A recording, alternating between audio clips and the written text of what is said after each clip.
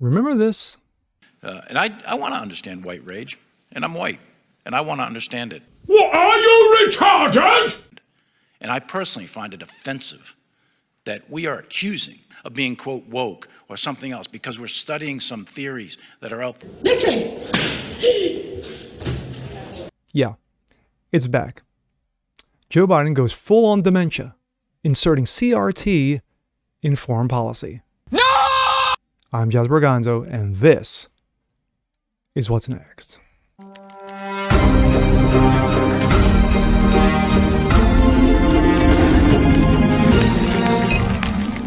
Hey, what's up, everyone? Jazzbro Gonzo here. Another What's Next weekend edition. Happy Saturday. Well, you can say a lot of things about Joe Dementia. One, he's dementia. Two, he's a riddle old man. Three, he's got a finger on a nuke, which scares the hell out of everybody. Four, he's wasting money like uh, like it's going out of style. Doesn't know what time it is. Doesn't know what color socks he had on. Doesn't know what breakfast he ate just two seconds ago. But what he does know is this: is that he seizes on opportunity and crisis. Yes, he does. Well, from putting pronouns up front and center, basically telling America bend over regarding his Reduction Act, to his not giving up about the economy or the energy or high food prices or and on and on. Oh, did I mention borders? On and on and on. But regarding foreign policy, he's been extremely weak ass. Ukraine, anyone? Now he's shoving CRT. Yes, remember CRT? Yes, he's shoving it back in, except this time it's regarding our foreign policy. Let's take a look. This comes out of Breitbart. Critical racist theory touted in Biden's administration national security strategy. There he is, demented clown. The Dementia Administration National Security Strategy, NSS, a document that typically outlines the new administration's foreign policy guidelines, principles, goals, and aspirations. A term encapsulated programs that uh, trainings based on critical racist theory, which has its roots in Marxism. Then we get rid of this shit. The NSS also calls for energy revolution and uses the term climate more times in China, or its official name, the CHICOMs, uh, despite China being America's top long term national security challenge and the enemy. Representative Jim Banks, Republican ranking member of the House Armed Services Committee, uh, Cyber Committee on Cyber Innovative Technologies and Informational Systems, said in a statement to Breitbart, quote, At the same time, dementia is recklessly warning of a nuclear war.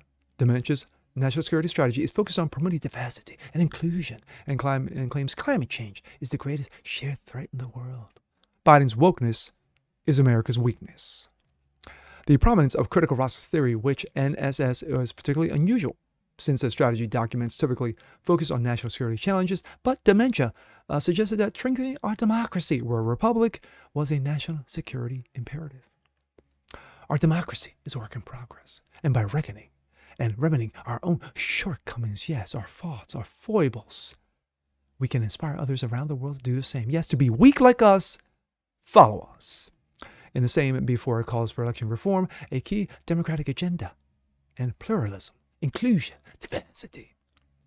As Americans, we must all agree that a people's verdict expressed in elections must be represented and protected. This is why we have taken executive action and urge essential legislation to protect and promote voting rights and expand democracy. Participation is why we're building on the work of generations of activists to advance equity and resist systematic racism in our laws, policies, and institutions and deem pluralism, inclusion, diversity our national core, our source of national strength in a rapidly changing world. A diversity and inclusion. We are reaffirming the rights to free speech, diversity, inclusion, free speech, peaceful assembly, and all other core civil liberties like diversity and inclusion.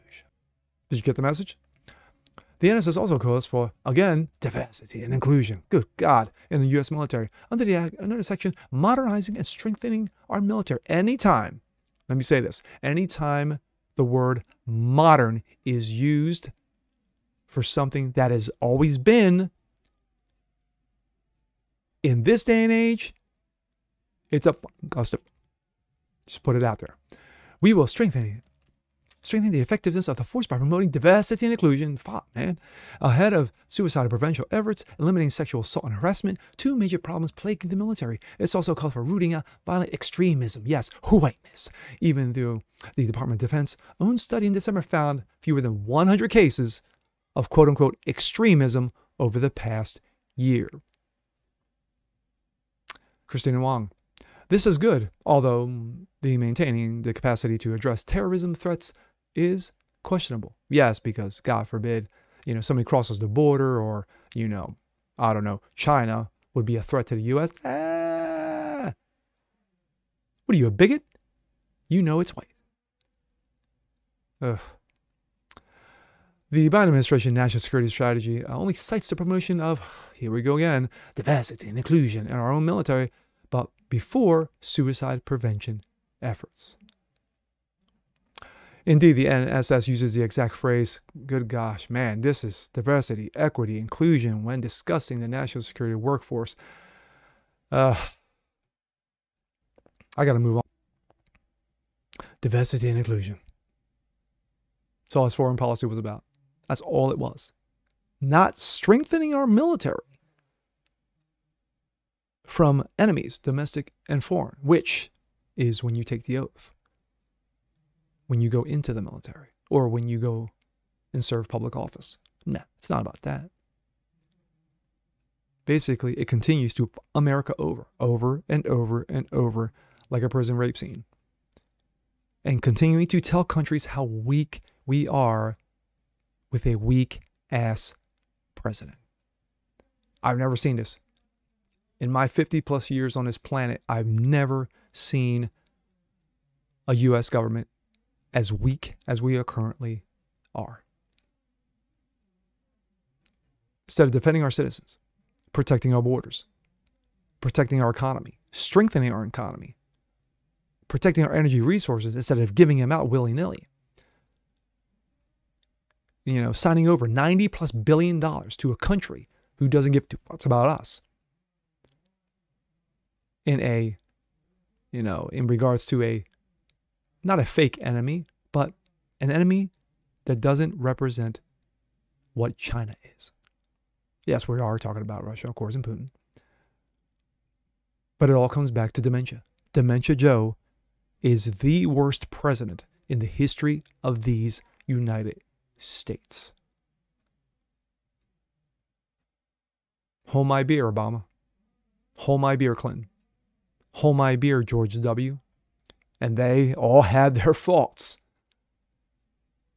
Trump is no ace, but he knew when it comes to foreign policy, peace through strength, just like Reagan did.